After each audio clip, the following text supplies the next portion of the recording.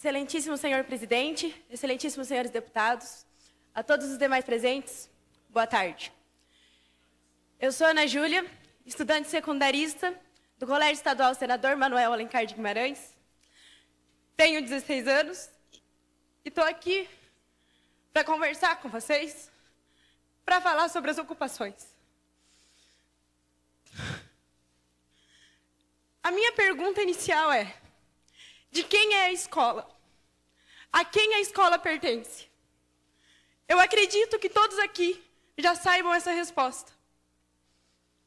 E é com a confiança que vocês conhecem essa resposta é que eu falo para vocês sobre a legitimidade desse movimento, sobre a legalidade.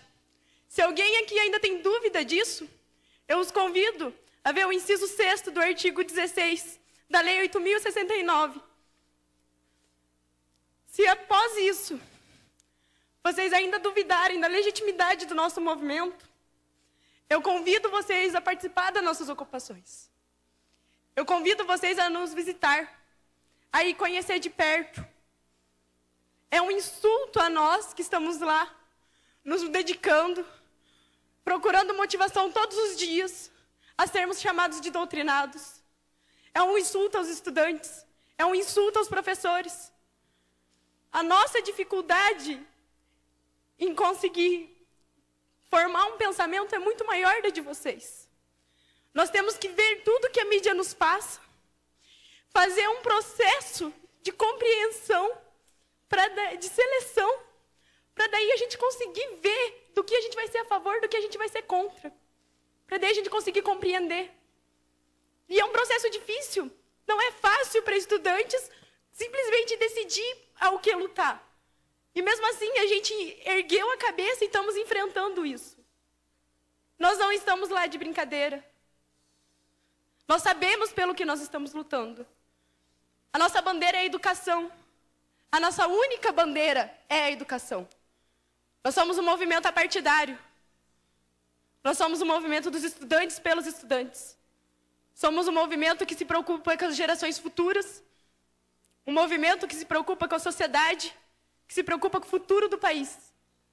Que futuro o Brasil vai ter se não nos preocuparmos com uma geração de pessoas que vão desenvolver senso crítico, de pessoas que têm que ter um senso crítico político, de pessoas que não podem simplesmente ler um negócio e acreditar naquilo.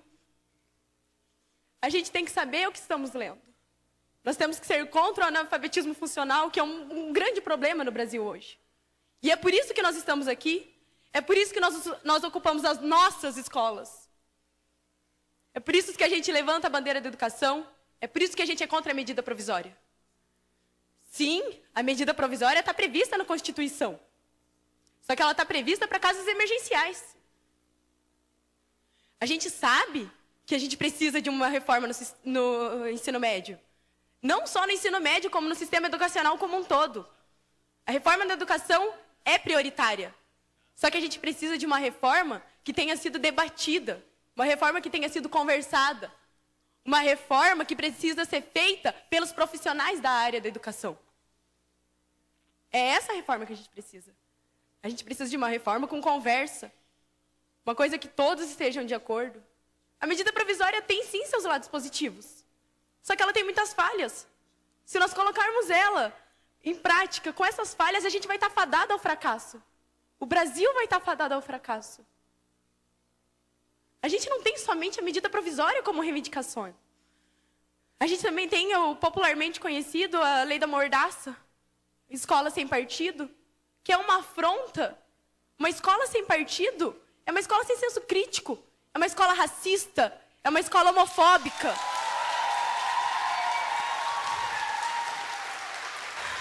A escola sem partido é falar para nós estudantes, é, pra, é falar para os jovens, é falar para a sociedade que querem formar um exército de não pensantes, um exército que ouve e abaixa a cabeça. E nós não somos isso. Nós temos uma história. E nessa história a gente luta contra isso. E em meados do século XXI, em pleno ano de 2016, vocês querem nos colocar um projeto desse? O Escola Sem Partido nos insulta, nos humilha, nos fala que a gente não tem capacidade de pensar por si próprio. Só que a gente tem. E a gente não vai abaixar a cabeça para isso. A PEC 241 é outra afronta, gente. É inconstitucional, ela é uma afronta à Constituição Cidadã de 88. Nela a gente tem a Seguridade Social. A PEC 241 acaba com isso. É uma afronta à Previdência Social. É uma afronta à saúde. É uma afronta à educação. É uma afronta à assistência social. A gente não pode simplesmente deixar isso acontecer. A gente não pode cruzar os braços para isso. A gente está aqui por ideais. Nós, estudantes, estamos aqui por ideais. O SESMAG está lá ocupando por um ideal. Porque a gente fez assembleia, a gente votou, a gente colocou os prós e colocamos os contras. E mesmo assim a gente viu que a gente está aqui por uma luta. Que a nossa bandeira é educação e que a gente não vai largar ela tão, tão fácil. A Nicole está aqui pela educação. O Safel estava ocupando pela educação. Os colégios do Paraná e do Brasil estão pela educação. Nós não estamos lá para fazer baderna, nós não estamos lá de brincadeira. Nós estamos lá por um ideal. Nós estamos lá porque a gente acredita no futuro do nosso país. Esse país é nosso. Vai ser dos meus filhos, vai ser dos filhos dos meus filhos, e eu me preocupo com esse país. E nós estamos lá porque nós nos preocupamos com esse país. Ontem, eu estava no velório do, do Lucas. E eu não me recordo de nenhum desses rostos aqui que estavam lá. Não me recordo de nenhum. E vocês querem me dizer? Nós sabemos que nós estávamos preocupados, sim. Vocês estão aqui representando o Estado. E eu convido vocês a olhar a mão de vocês. A mão de vocês está suja com o sangue do Lucas. Não só do Lucas, como de todos os adolescentes e estudantes que são vítimas disso. O sangue do Lucas está na mão de vocês. Vocês representam o Estado. Eu peço. Eu vou fazer uma intervenção com devido respeito à sua idade, à sua família, mas aqui você não pode agredir o parlamentar. Aqui nós demos. Eu vou encerrar a sessão. Eu vou cortar a palavra. E eu peço o silêncio de vocês, senão eu encerro a sessão. O ECA. Bom dia.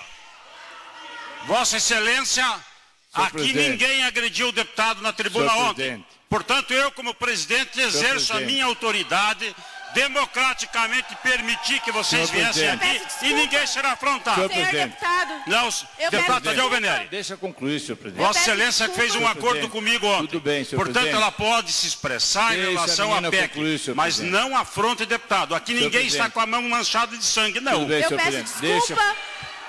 Eu peço desculpa mas o ECA nos diz, eu peço desculpa, mas o ECA nos diz que a responsabilidade pelos nossos adolescentes, dos nossos estudantes, é da sociedade, da família e do Estado.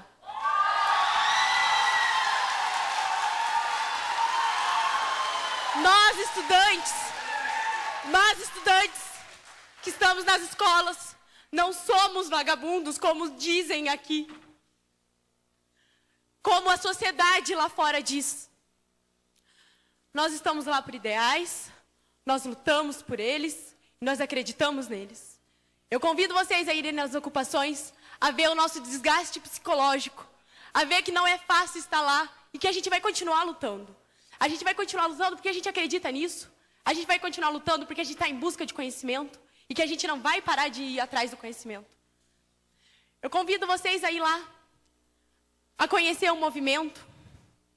E vocês vão ser bem, muito bem recepcionados, porque a nossa ideia é apresentar para vocês porque a gente está lá. O movimento estudantil nos trouxe um conhecimento muito maior sobre política e cidadania do que todo o tempo que nós estivemos sentados enfileirados em aulas padrões.